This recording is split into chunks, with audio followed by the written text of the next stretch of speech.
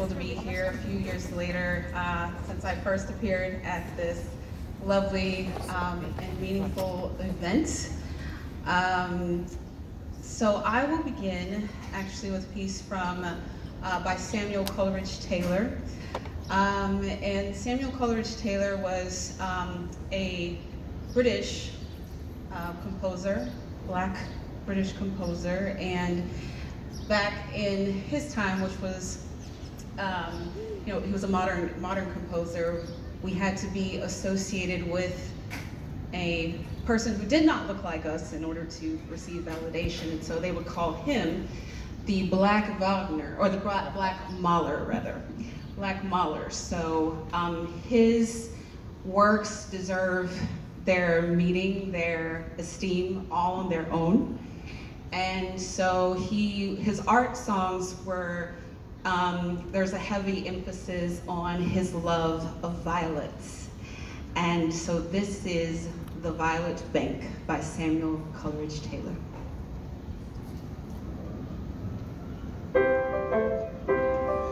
I know a bank with a